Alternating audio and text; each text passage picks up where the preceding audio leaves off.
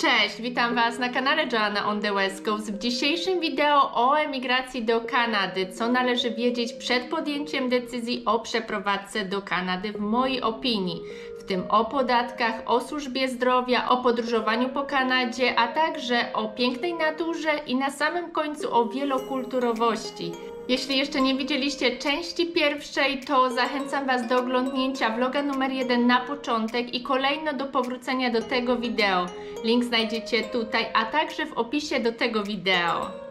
Ponad dwa lata temu pożegnałam się z moją rodziną, przyjaciółmi, pracodawcą, a także z moją strefą komfortu i wyruszyłam w podróż do Kanady w poszukiwaniu nowych, być może lepszych możliwości. Do Kanady przyjechałam sama zaraz przed 30 i w 2018 roku rozpoczęłam moją podróż ze stabilnego życia w nieznane. Na przeprowadzkę i start wydałam masę pieniędzy, być może byłby to wkład własny i kompletnie nie wiedziałam, jak potoczą się moje losy tutaj. Czy się bałam? Tak, i wciąż czuję strach, ale robię swoje. Od biletu wszystko się zaczęło. To była mała decyzja, która zmieniła moje życie. Jestem naprawdę szczęściarą, że mogę mieszkać w mieście z oceanem na wyciągnięcie ręki oraz otoczona górami i dzielić ten czas ukochaną osobą. Jeśli podoba Ci się moja historia, to proszę zostaw łapkę w górę oraz włącz subskrypcję. A teraz zaczynamy!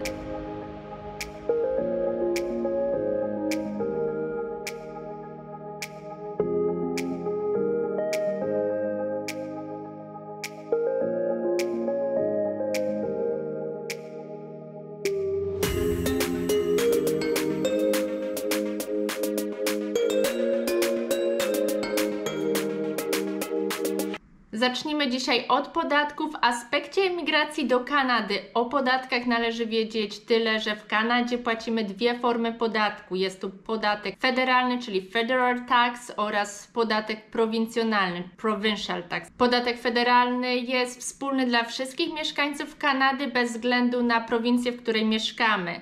Natomiast już podatek prowincjonalny różni się w zależności od prowincji, w której mieszkamy.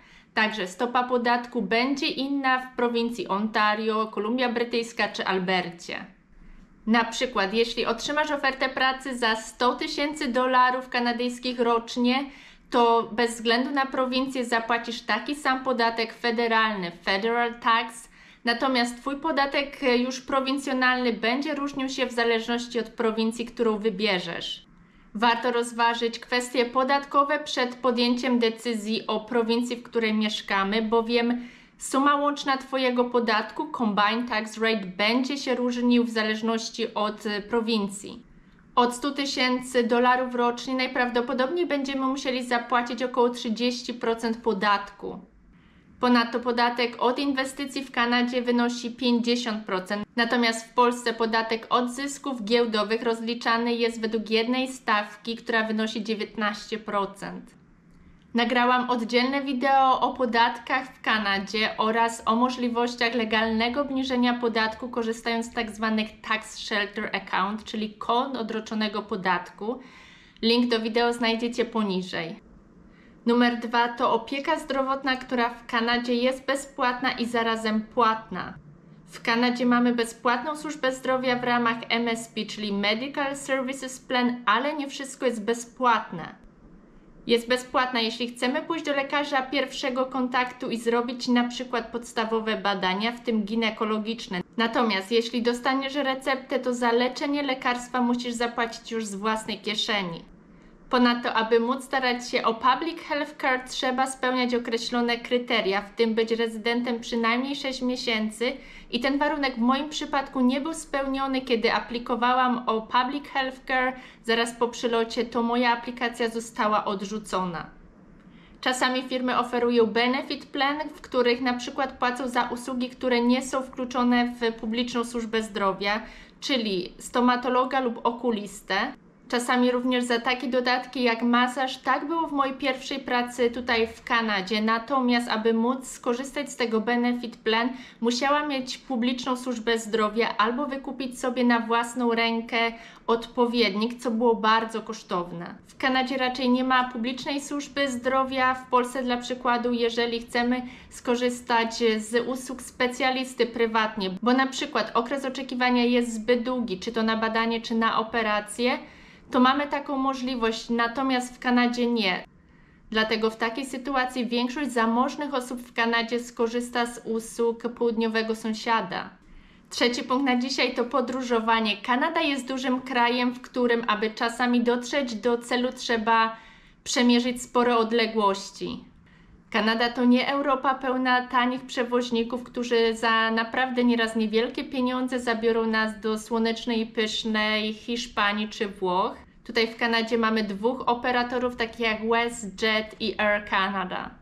Ja przeprowadzając się do Kanady chciałam widywać moją rodzinę w Chicago częściej i w pierwszym roku mojego życia w Kanadzie udało mi się to zrobić dwa razy. Odwiedziłam ich dwa razy, natomiast ceny biletów to była kwota rzędu 500-700 dolarów e, kanadyjskich, co nie jest dużo mniej niż bilet z Polski. Dodatkowo mając 2-3 tygodnie urlopu, moje wizyty były ograniczone do 4 dni, nie tak jak lecąc z Polski 2 tygodnie. Nie ma natomiast jetlagów, co jest ogromnym plusem i tutaj bezpośredni lot z Vancouver do Chicago trwa tylko 4 godziny, więc nie jest on wyczerpujący. Kolejną korzyścią mieszkania w Kanadzie jest bliskość ze Stanami Zjednoczonymi, więc warto wykorzystać tą możliwość i popodróżować również po Stanach Zjednoczonych. Dla przykładu ceny biletów z Vancouver do San Francisco, Los Angeles czy San Diego to koszt około 300-400 dolarów, natomiast wewnątrz Kanady często loty kosztują między 200 a nawet 1000 dolarów. Myśląc również o podróżowaniu po Kanadzie, trzeba wiedzieć i planować z wyprzedzeniem. Na przykład w styczniu w Kanadzie otwierają się zapisy na kempingi, więc jeśli nie uda nam się zarezerwować miejsca na początku roku, to później musimy czekać, aż ktoś zrezygnuje, aby wskoczyć na to miejsce. Dla przykładu cena za miejsce na naszym ulubionym kempingu w Tofino, czyli na kempingu Green Point Campground wynosi za jedną noc 50 dolarów. W Tofino natomiast możemy za miejsce na kempingu zapłacić nawet powyżej 100 dolarów. A hotel to często kwota powyżej 300 dolarów. Podobnie jest jeśli chodzi o ceny ski pasów. Najtańsze ski pasy, czyli Early Birds, sprzedawane są do końca marca. Ja przyleciałam w lipcu, więc już nie mogłam skorzystać i w sezonie zimowym płaciłam za pojedyncze skipasy. Tutaj na Cypress na przykład po 14 płaciłam około 75 dolarów, natomiast w Whistler za jednodniowy ski pass to kwota powyżej 180 dolarów, natomiast w Big White koło Kelony jednodniowy ski pass to cena powyżej 100 dolarów. Można również skorzystać z Biggie Card, których cena wynosi wtedy poniżej 100 dolarów. Punkt numer 4 na dzisiaj to natura. To właśnie zachwycająca natura przyciąga ludzi do Kanady, czy to turystycznie, czy na dłużej, jest emigracyjnym celem. W roku 2019 Kanadę odwiedziło ponad 22 miliony turystów. I ja odwiedziłam piękną Kolumbię Brytyjską oraz jedne z najpopularniejszych miejsc w Kanadzie, czyli Banff i Jasper, nim zdecydowałam się na emigrację do Kanady. Vancouver spędziłam zaledwie 3 godziny i to wystarczyło, aby zakochać się w tym mieście. Jestem naprawdę szczęściarą, że mogę mieszkać w Vancouver w mieście, który ma ocean na wyciągnięcie ręki oraz jest otoczony górami. Vancouver jest niesamowicie położonym miastem, w którym możemy czuć się jak na wakacjach bez jego opuszczania. O ile sobie na to pozwolimy, bowiem wyzwania życia na emigracji często sprawiają, że ten urok możemy łatwo utracić.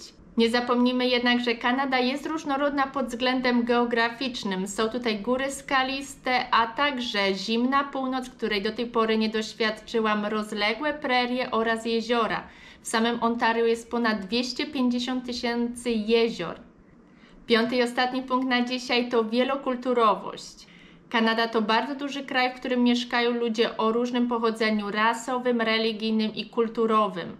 Tutaj nie wszyscy obchodzą święta Bożego Narodzenia, nie wszyscy obchodzą je w tym samym terminie, podobnie jak Nowy Rok. Mojej pracy na etacie w kanadyjskiej firmie byłam jedyną Polką, natomiast mój kolega miał polskie nazwisko, ponieważ jego tata przyjechał z Polski, jak był małym chłopcem. Kiedy przyszła Wielkanoc, nikt nie znał tradycji śniadania wielkanocnego. Dla moich znajomych był to po prostu zwykły, długi weekend.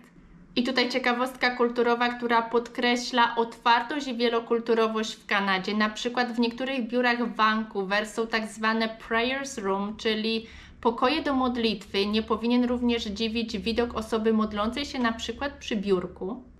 Wiem, że podobne pokoje do modlitwy są również w Niemczech. Na zakończenie dodam, że Wasza pracowitość, cierpliwość, pokora oraz wiara w siebie zostaną tutaj sprawdzone. Dziękuję, że zostaliście ze mną do samego końca. Mam nadzieję, że podobało Wam się to wideo. Jeśli tak, to proszę zostawcie łapkę w górę. Zachęcam Was do zadawania pytań w sekcji komentarzy poniżej, a także do subskrypcji mojego kanału. Zaglądnijcie również na mój Instagram Joanna on the West Coast, gdzie dzielę się zdjęciami z pięknej Kolumbii Brytyjskiej. Do zobaczenia w kolejnym odcinku. Cześć!